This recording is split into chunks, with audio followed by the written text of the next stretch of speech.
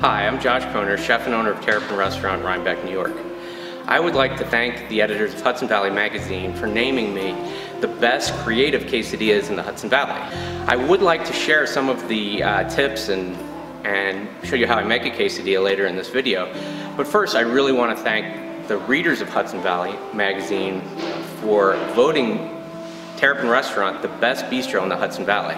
In addition to that, a first time thing for us, we actually were voted the most romantic restaurant in the Hudson Valley. And I think that's great because I certainly have had a lot of romantic meals here. And I want to show you guys right here, this is my favorite romantic table, one that I always take my wife.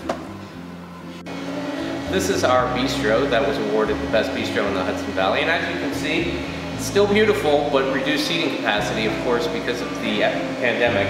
Uh, tables are always spaced six feet apart, and even at the bar, we put some partitions in to add an extra layer of protection for our guests because certainly safety during this pandemic is going to be the primary concern for our customers. We are still open seven days a week, serving late. Our bistro menu is full, and we also offer a full takeout menu seven days a week as well. So this is Terrapin's dining room. And as you can see, we have lots of space, which is great because we're able to really space things out in here very comfortably. We have really high ceilings for much better air circulation as well. This is where a lot of the magic happens, where I'm able to do some of my finer, fancier stuff, but you're also able to get the bistro menu in here if that's what you're looking for. So please come into the dining room and enjoy a romantic meal in one of our romantic tables. We've been fortunate to have a lot of patio space. The town has allowed us to put a big tent out back, plus we have our front patio that we've been seating for years. And though the weather's getting a little chillier, we're going to be able to have a heated tent in the back, so we're going to be able to continue this if you're more comfortable dining outside. Or if you want to sit in the sun, there'll be plenty of opportunity for that as well. Okay, I'm going to show you guys real quick how I make my quesadillas. Now this is actually a technique that I got from Bobby Flay way back in the 90s when I was working at Mesa Grill with him. The secret is, first of all, it's a baked quesadilla, and I use three tortillas, so there's a layered tortilla process. The tortillas are gonna be cheese, onions, jalapenos, salt, pepper. So, in this case, I'm gonna start with the duck, put a nice layer of duck on the bottom, like this.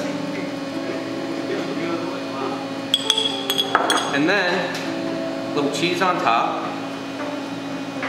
I use Fontina cheese in the restaurant. A little bit of onion, little bit of jalapenos, salt and pepper, and then I go to the second layer. So I put layer down, press it down, and this layer is only going to have the cheese.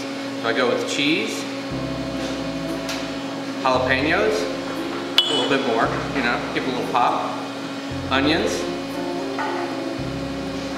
salt, pepper.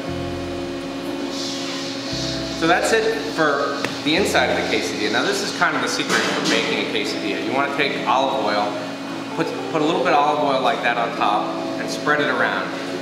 Now it's going to look nice and, and shiny. You're going to have a lot of oil on it. But this is kind of the key ingredient, because if you're doing a normal quesadilla where you're frying it in a pan, you're going to be using oil on it. So you need that kind of crispy uh, fried with a little bit of oil flavor while it's still baked in the oven. So you put the oil on top. Now we're ready to cook it. So as you can see, I baked the quesadilla. Just pulled it out of the oven. Um, I bake it at 500 degree oven. What you're looking for is this top shell should be really crispy. If it's soggy, it's not gonna have the same crunch that you're looking for. I serve this quesadilla with my mango avocado salsa, but the fact that we won Best Creative Quesadilla, quesadillas are creative by nature. There's so many different things you guys can do with this. So explore, have a good time. And I want to thank you guys again for voting us uh, Best Bistro and Most Romantic Restaurant. And invite your friends, come have dinner with us.